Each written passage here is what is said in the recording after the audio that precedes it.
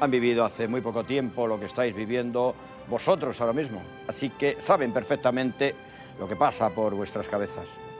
Adelante, David, Adrián, Patricia, Joaquín y Luismi. Tercer, cuarto, quinta, séptima y octavo clasificado de Masterchef 10. Buenas noches a todos.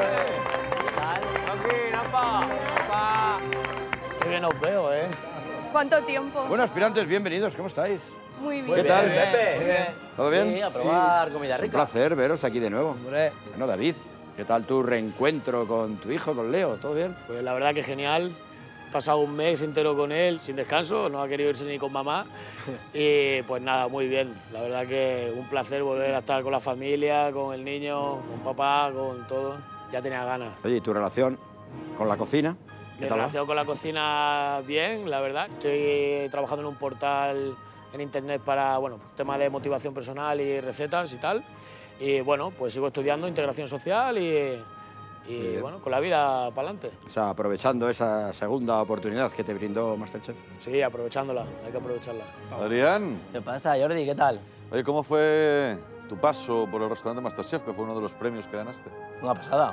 Aprendí mogollón a cocinar, a lo que es estar en una cocina profesional y la verdad que muy contento. Me han empujado a, a querer montar un negocio.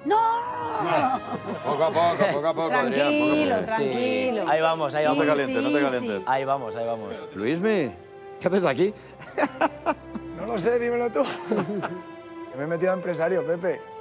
Pero bueno, ¿Otro de ¿Y restauración? qué has montado, Luismi? Cuéntanos. He cogido una participación en un restaurante cerca del circuito del Jarama, que es mi pasión los coches, y creo que es muy bonito aunar eso.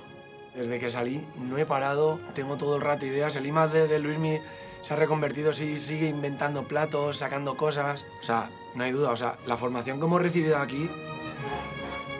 Top, top. Oye, Joaquín, después de haber pasado por estas cocinas, por el ABAC, restaurante serio, ¿qué estás Pues, haciendo? Estoy pensando en abrir algo en Valencia, porque bueno, como vivo ahora con Eva, aquí encontré también el amor.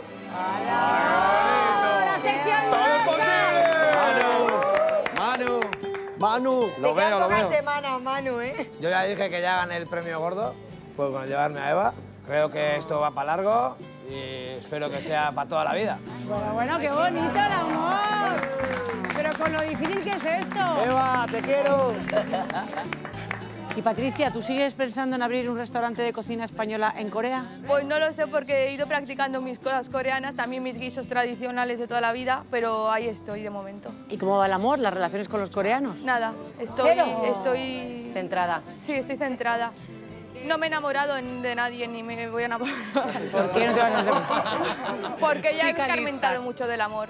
Las Patris, sí, chica las. Patris pensamos así. Prefiero estar sola y ser una hoja movida por el viento y lo que me vaya saliendo. Oye, pues con David haces buena pareja. Sí, ¿verdad? claro que sí. Que sí, Se lo he planteado antes, pareja. pero no, no, Sí. No, ¿te ha dicho que no? no, no, no cuela. Eh. No le gustan los calvos a ella. No, qué tontería grande, si eres un amor de hombre.